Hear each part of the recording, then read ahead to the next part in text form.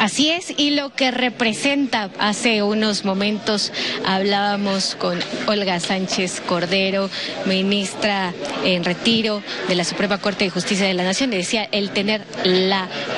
primera presidenta de nuestro país implica que las mujeres, niñas, adolescentes de este país puedan aspirar a el cargo máximo en el Poder Ejecutivo. En estos momentos estamos viendo en vivo y en directo el arribo del presidente Andrés Manuel López Obrador a este Palacio Legislativo de San Lázaro. Lo recibirá esta comitiva especial integrada hace unos minutos en esta sesión solemne del Congreso de la Unión para acompañarlo por el patio de honor del Palacio Legislativo y posteriormente arribar al Salón de Plenos de aquí del Palacio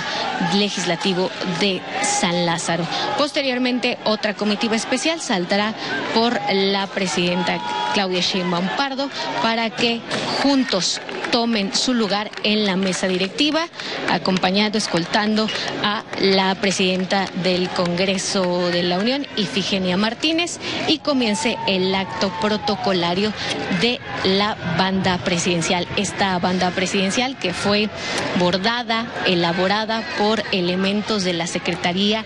de la Defensa Nacional. En unos momentos más vendremos también este arribo por parte del presidente Andrés Manuel López Obrador aquí al recinto de San Lázaro para formar parte de esta sesión solemne que está o a la que estuvieron convocados 628 legisladoras y legisladores y de quienes también desde que inició esta ceremonia en punto de las 9 de la mañana escuchamos y vimos los posicionamientos que hizo cada uno de los representantes de las bancadas como parte de su participación en esta ceremonia. Después de la toma de protesta, después de que Claudia Sheinbaum Pardo juramente como presidenta para el próximo sexenio 2024-2030,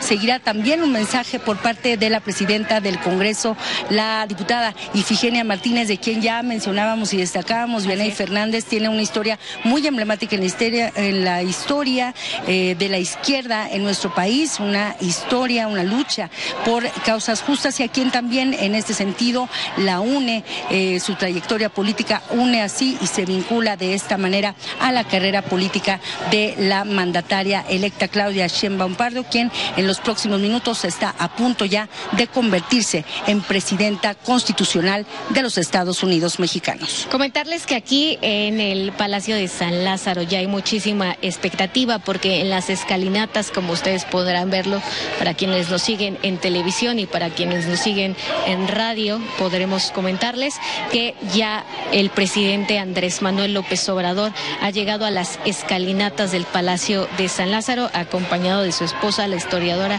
Beatriz Gutiérrez Müller. En este momento está saludando a los legisladores y las legisladoras que integran esta comisión especial protocolaria que lo acompañará